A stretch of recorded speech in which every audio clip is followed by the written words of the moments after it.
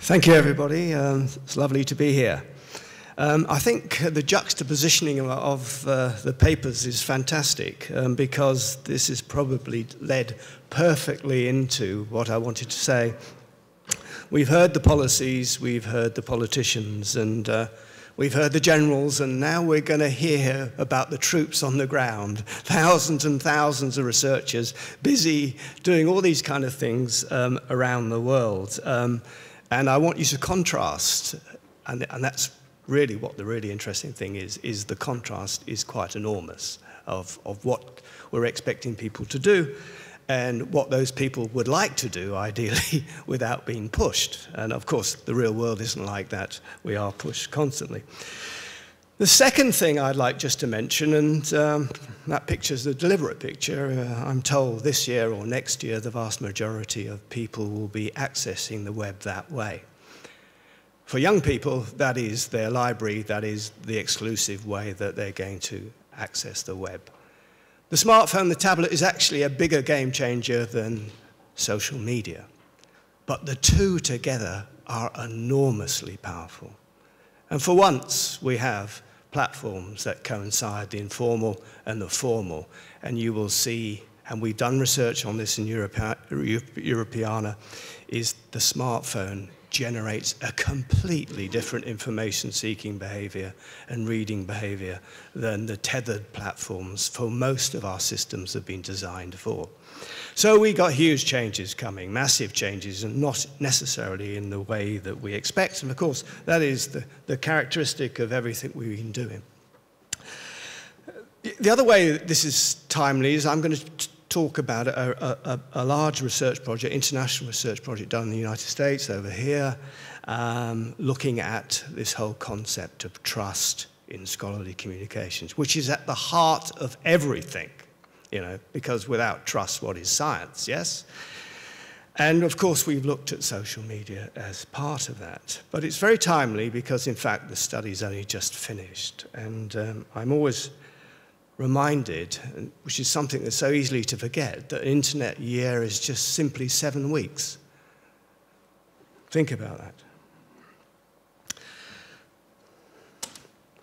Okay, the, these are the big issues that are challenging trust as we've known it in the past and, as, and trust as we know it today.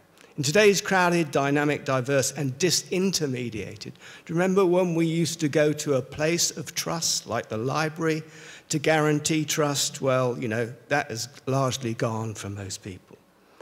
It's more difficult ever to establish trustworthiness in the world in which we're living now.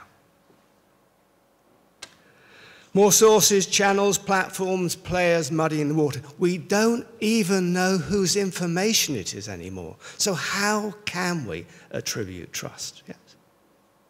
The gates are open, we're opening them even more, as you can see.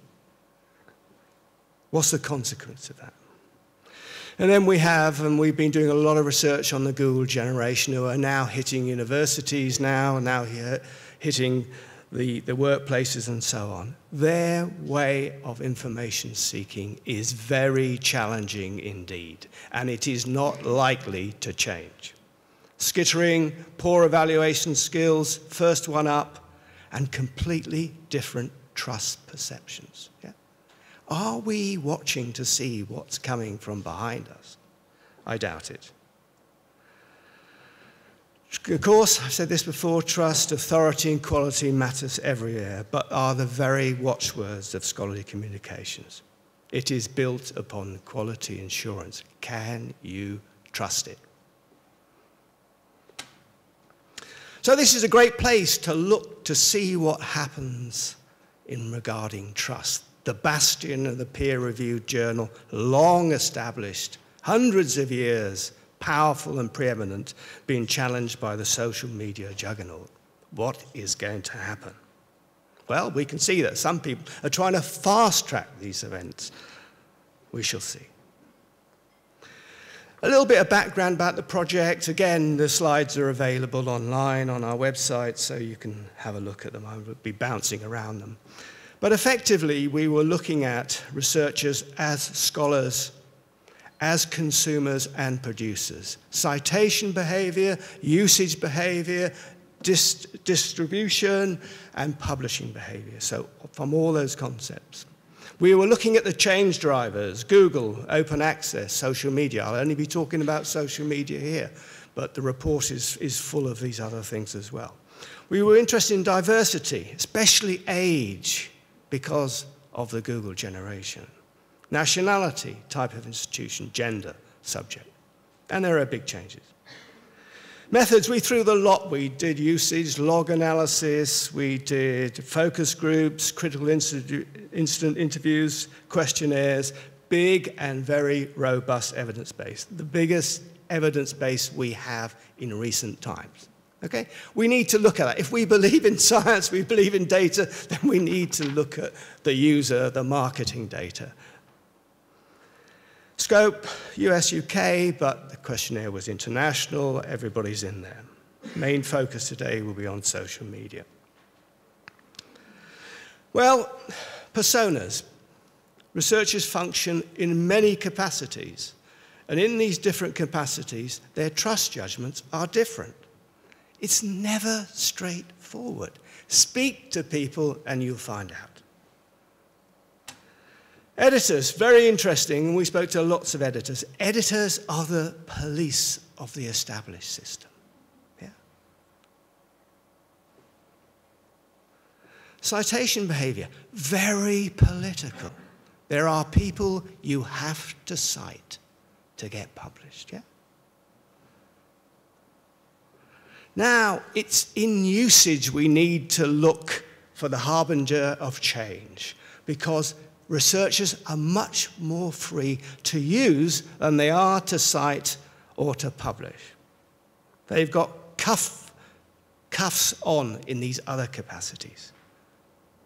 So if we see, we look to see how social media is doing in terms of usage, reading and viewing then perhaps we might see seeds of change.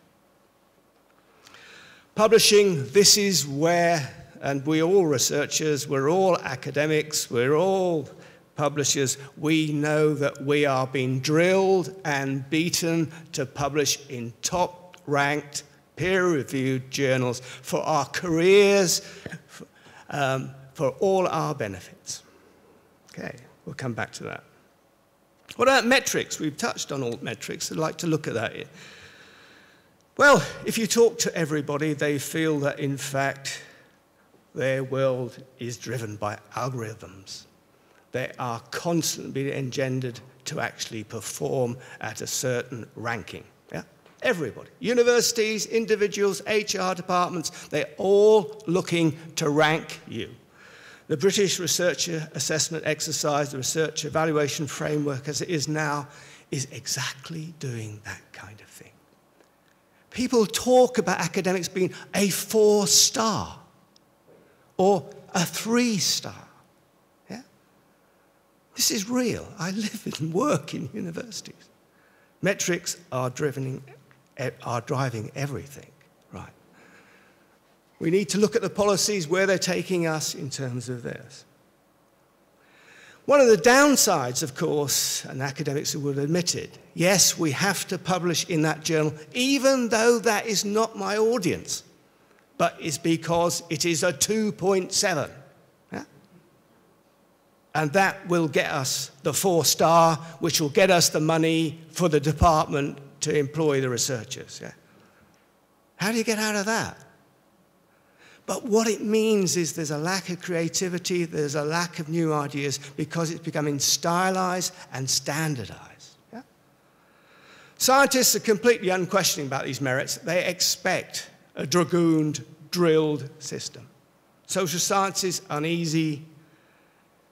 Humanities scholars are culturally uncomfortable and alienated, but they are measured the same way, so they are part of it.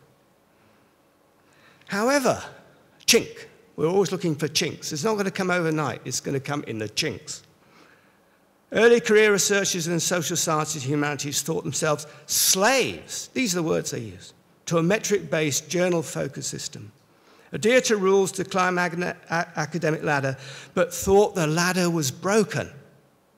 In marked contrast, they thought journals were a manifestation all that was wrong with scholarly communication. Complete and utter opposite to what we've been hearing by everybody else.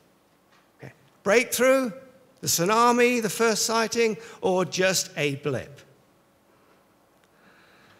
Altmetrics, well, most researchers don't even know what they are. You have to tell them. Most are ignorant, and even those who have the knowledge see them as popularity indices. Now, for an academic, that is not such a good thing. Popular is one thing, quality is another.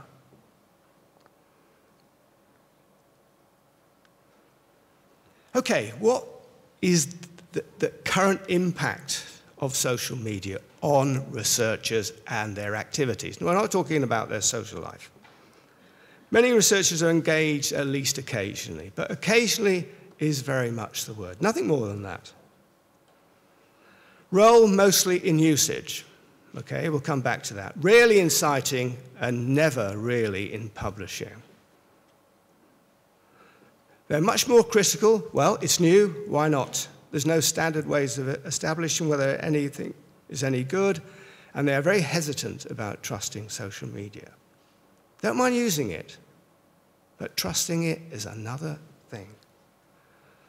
They do use the same standards to judge quality of social media as used for traditional sources. Look at it, evaluate it, read it. Who's the author? But what social media has done most of all is benefited informal scholarly communication. Now, this is important. This is very important because this drives the formal and are very much treated as such.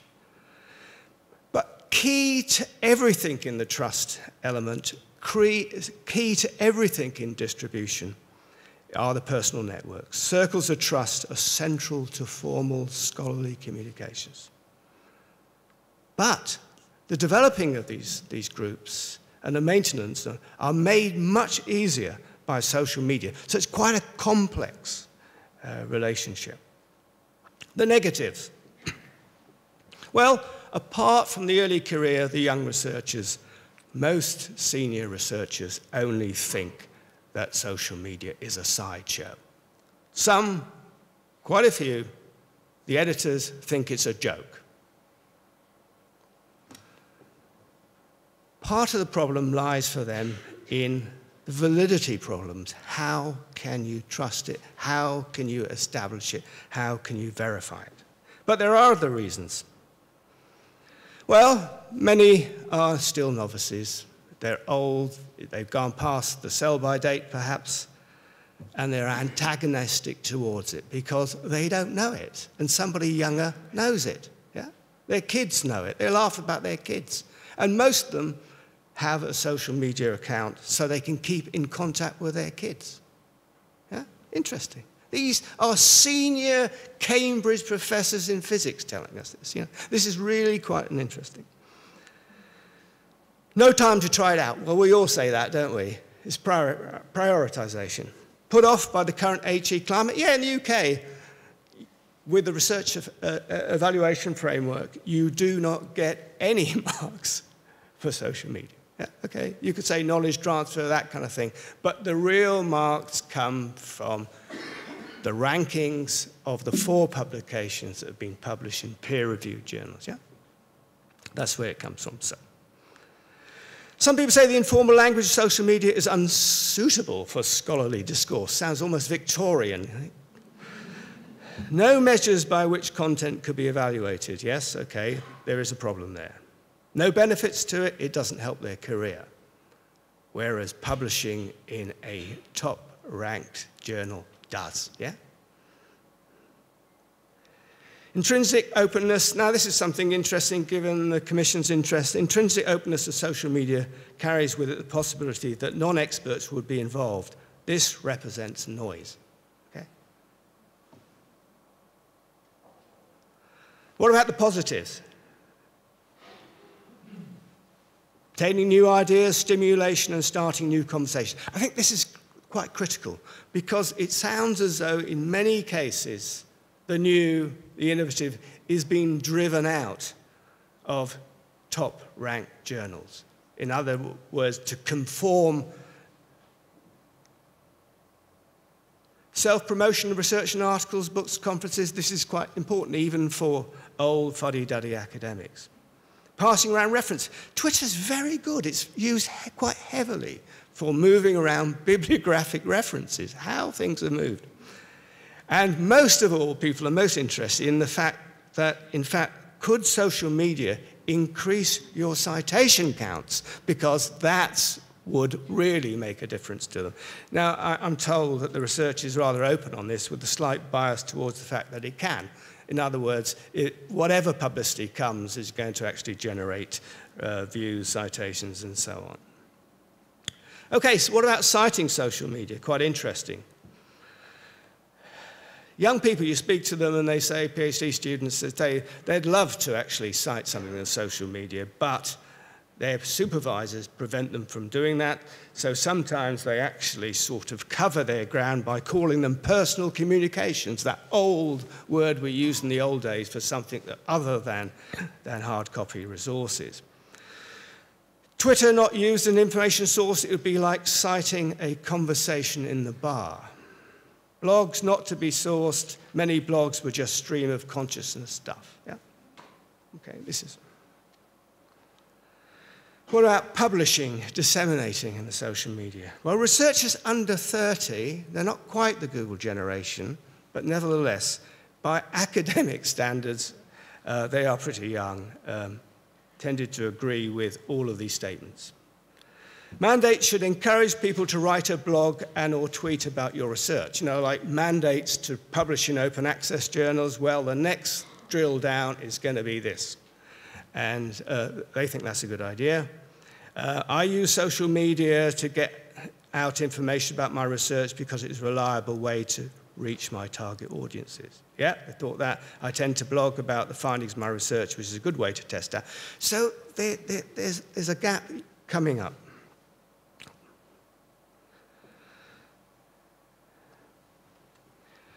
Now, this is an area where not only were the early career researchers saying this is the benefits to them and this is how they, but even the older uh, generation thought this was good. And one or two very senior researchers were saying that today they would have really fast tracked the building up of that key community to which they have to belong before they can actually move around in that scientific world.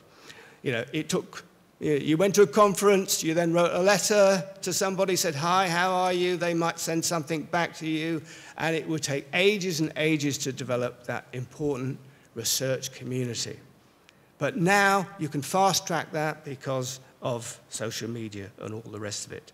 So you can see here, nobody would disagree that social media actually has an enormous benefit here. Fast track development person network facilitates collaboration among researchers, finding researchers to work with in real time, stalking authors, I like that word, staying in touch with events, taking full advantage of the dissemination plus world they were part of. Yeah? Okay, so we can see some tremors.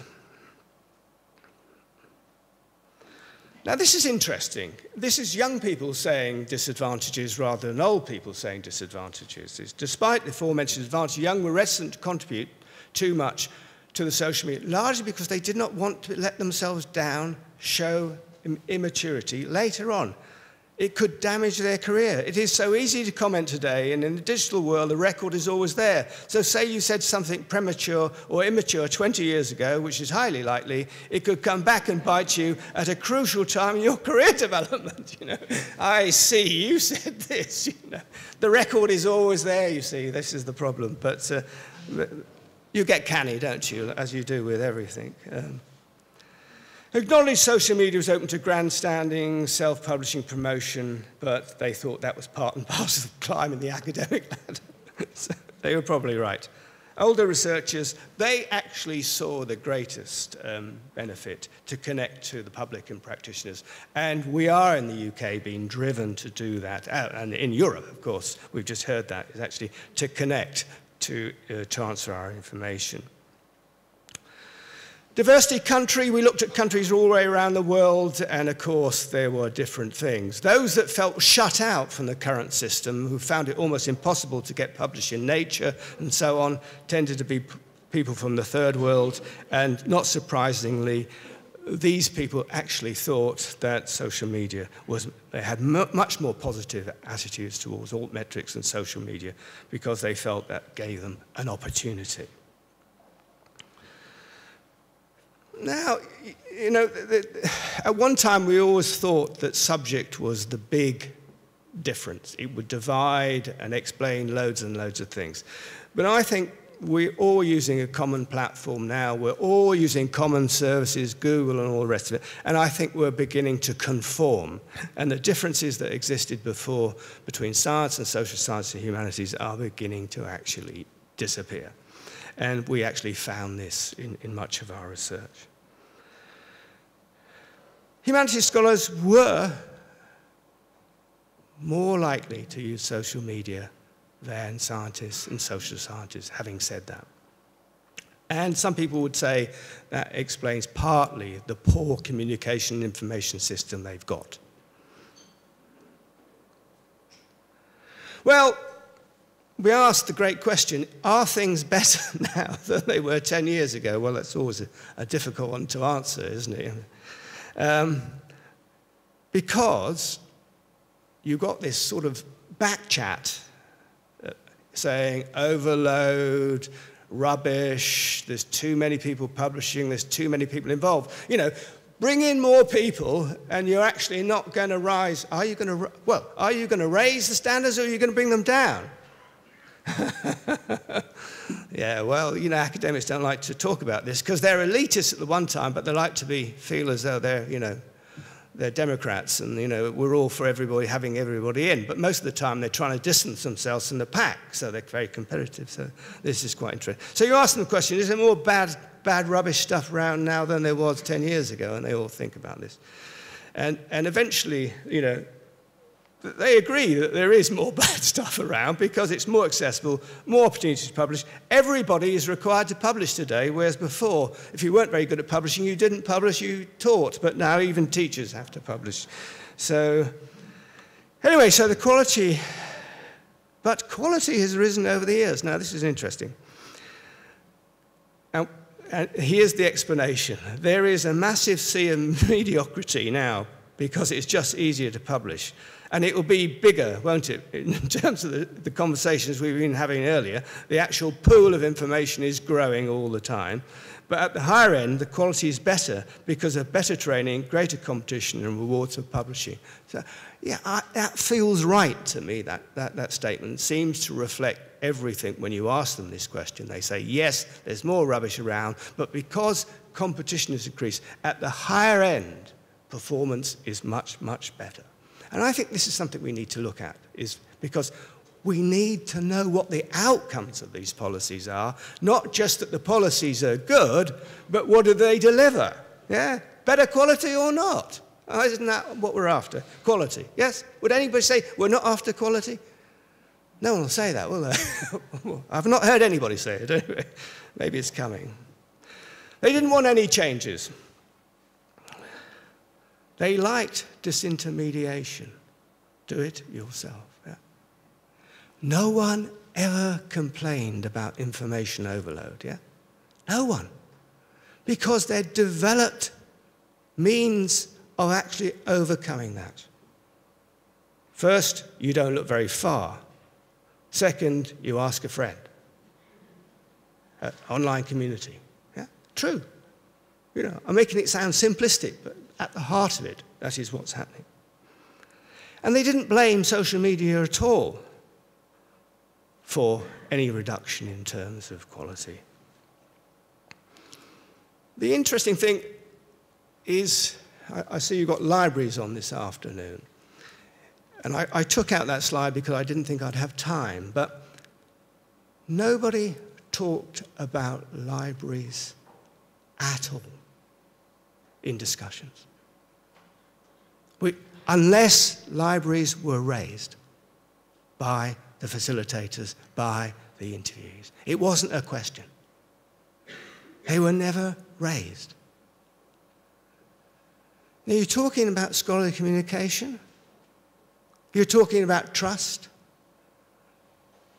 Libraries were the guardians of trust. But nobody ever talked. They talked about them in nostalgic terms. Virtually none of them actually entered a library. Many of them were not even conscious that they were using library online services. Libraries could be the first casualty.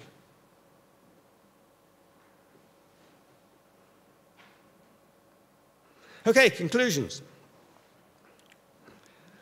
What problem? As I said, we thought we were going there, talking, asking questions, and we thought we'd be harangued by people saying, the world has gone mad. Yeah? There is so much stuff so many platforms, so many people publishing, so many people contributing. How?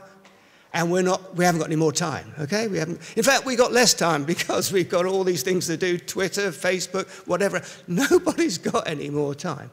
Massive overload. Don't know who it is. But what's the problem? Now, to me, that seems like a problem, okay? But in fact, you would have to introduce the problem to the discussion for them to discuss it as a problem. Okay. Play down the difficulty of establishing trustworthiness in the virtual world, not because there were none, because there were, but because they have well developed methods of establishing trust.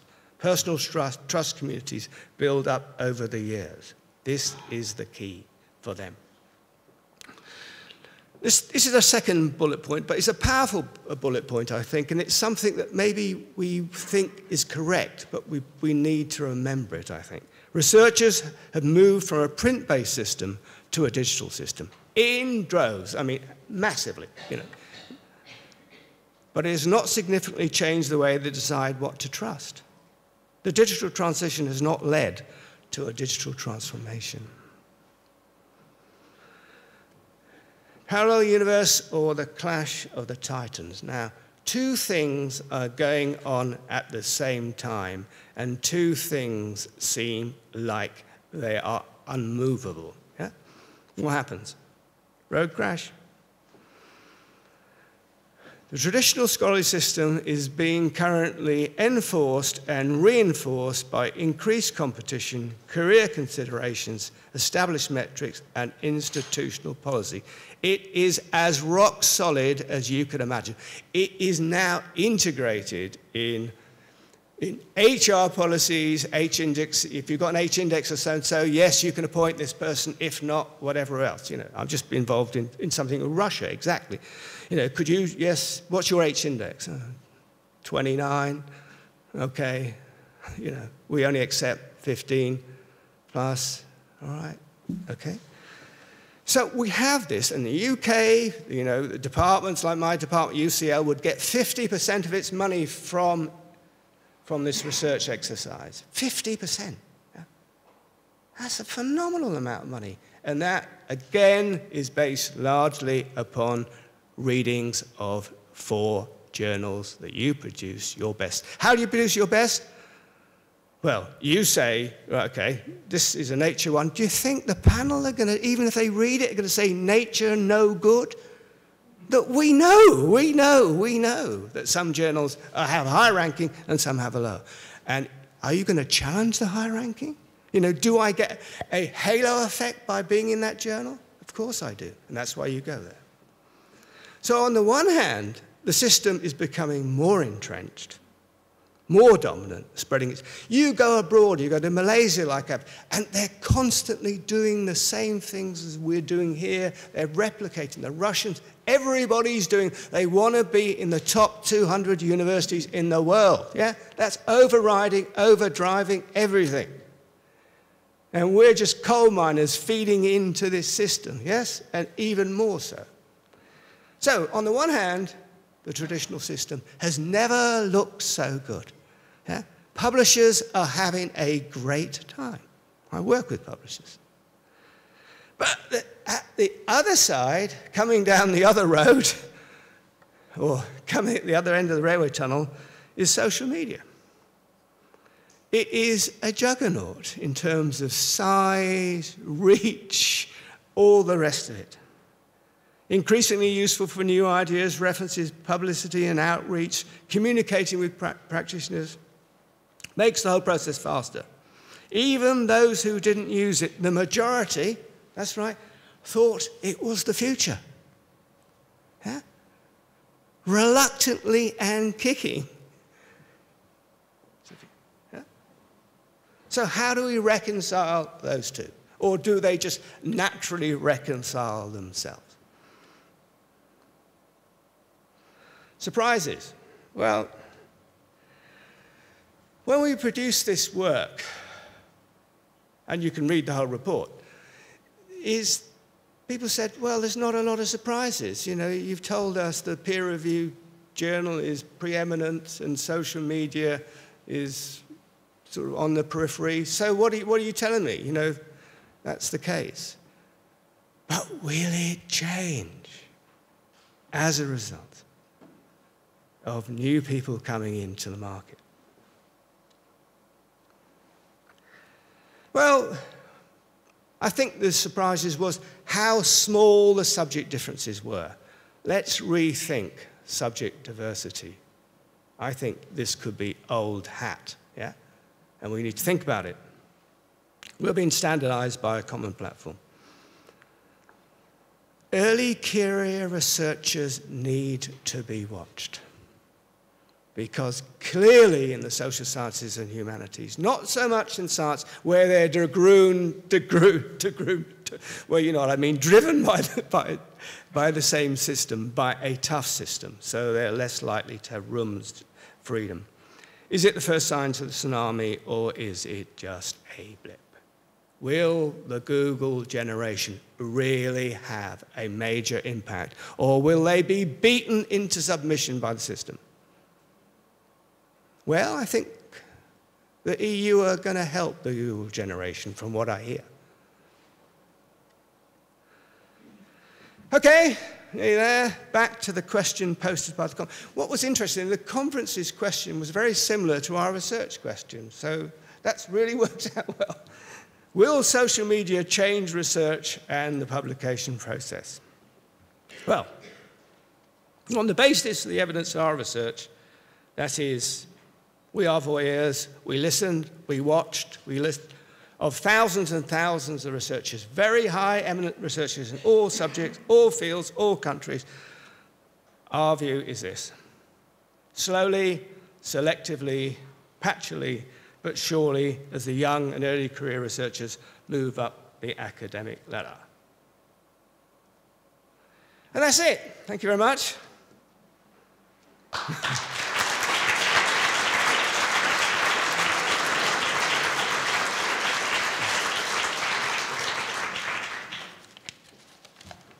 Okay, thank you very much for this really enlightening talk. Um, do we have questions, comments in the audience? There is one in the last row.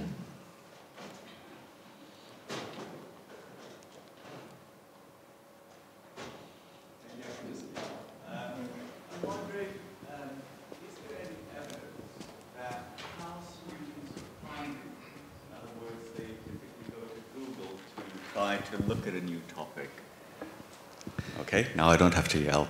Yeah, I, I uh, heard you. Uh, yeah. Is there any evidence that that changes what, in fact, they read? I mean, I always have that suspicion uh, that they that they don't necessarily read what might be recommended to yeah. them or what what might be the most trusted or most worthy source, but that because of the way they search, you know, they they look at a new topic, they type in a few keywords Mm. Is there any evidence that the kind of journals that they arrive at or the kind of information that they get is different from what it might have been?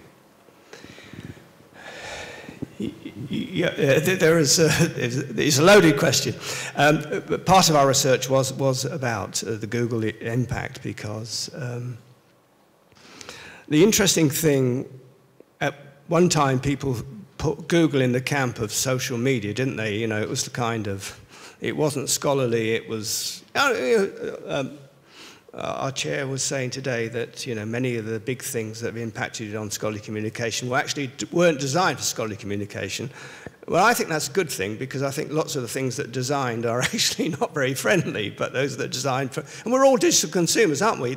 You know, we use everything the same platform, book the BA flight, look at Science Direct and all the rest of it when I noticed that something had changed, and I'll, I'll, come to the question, is, is that we were studying Science Direct um, and we were looking at usage. We, we, haven't talked about the usage logs as well. But, um, and at one time, um, Science Direct didn't allow Google bots to, to um, index um, physics content. Um, they could only go to the kind of, you know, the headlines and all the rest of it. And in one month, they changed their policy and allowed Google in deeply. Um, and the amount of traffic coming into Google, um, uh, sorry, into Science Direct physics journals went up immediately to 70% from Google, from nowhere. Okay? So they'd only. In this study, if you talk to people about searching and discovery, they talk principally about Google and Google Scholar. These are researchers, these are the quality. They say they are surprisingly good. And why they like Google and why they like Google Scholar over publisher platforms is because it, it not only is it more accessible, not, it's not more friendly, you don't need passwords, you don't need all those kinds of things, but you get a wider view. Yes? And I, one of the EU papers was borderless information. We have moved into a borderless information environment. Hence, libraries are struggling to cope because the borders of information seeking were once within the four walls. What happens when 80%, 90% of all journals are open access? Therefore, you don't even need to go to the big deal to do it, yeah? What happens there? Well, anyway, they are happy with Google. They really like Google. They find what they like in Google, they don't complain. However, for young people, there are, there are worries. If you look at their behavior, they spend very little time examining, evaluating, comparing. They tend to trust Google. First ones up are the ones that see. Do you know hardly anybody looks at page two on Google? Hardly anybody. Well, how do you know the first item on page two isn't the most relevant? Just, it's just not the most accessible. Well, we have to be pragmatic. There's lots of stuff around. We haven't got much time. So, in, in many ways, you know, ease of access is now driving what people are finding. Digital visibility counts absolutely massively. Just look at the logs. People spend, most people that, that search bounce. They go in and out. In and, and they go somewhere else and go in and out. Searching has become horizontal rather than vertical. And this gets a very different form of behavior. And when you've got the smartphone, and the big thing is people are actually searching the smartphone in a social space. Yeah? Not even in the office space, in a social space. That searching is even more light, L I T E. So you take an abbreviated form of behavior, which we all have because we're dipping in and out of things, you take it to the smartphone, you get even more fast food or more light behavior.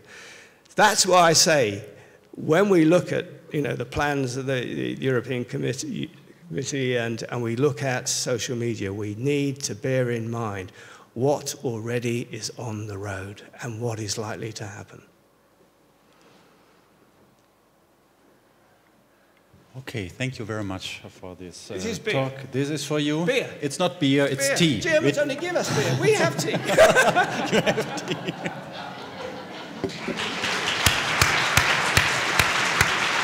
okay.